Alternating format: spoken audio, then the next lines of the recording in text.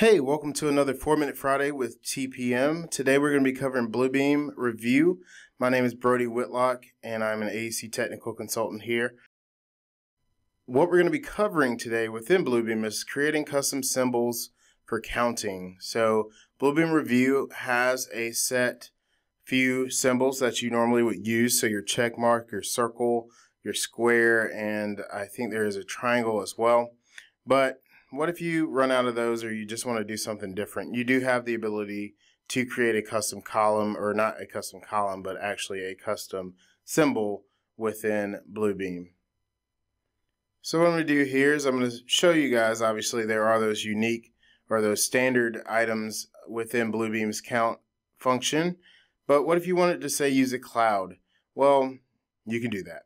So what we're going to do is create this cloud here. Um, one thing you do need to do when you're creating a custom count symbol is that item has to be added to your tool. So you can't just draw it on the document and then decide to make it a count. So what I'm going to do is I'm going to add it to my tools or if you have a custom toolbox you want to use, you can do that too.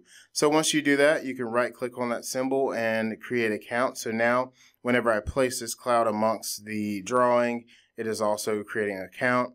If I were to end that, I would have to right click on it to continue the count or it will start a completely new count every time. Now, one thing I want you to notice is that I did not erase this symbol out of my toolbox.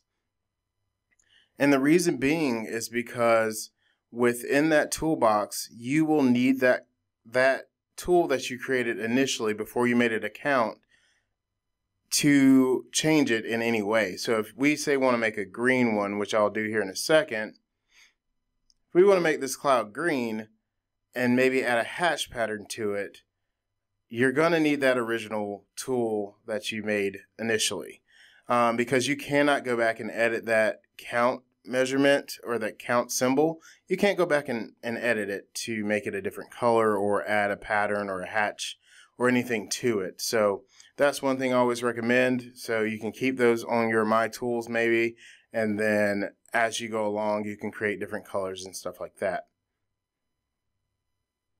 But once you've done that, you'll do the same thing. You do also have to add that different color to your tools. And then you have to right click on it and say create count. So now we have a green cloud with a diagonal hatch pattern, uh, using it to actually count some other items within the drawing. So this has been a really short one, um, but I know I found it useful because working with certain um, people, you may want something unique to your company. So you do have this ability to do that. And again, thank you for listening and thank you for watching another 4 Minute Friday. You can look for us on tpm.com as well as you can subscribe to our TPM Solutions channel on YouTube.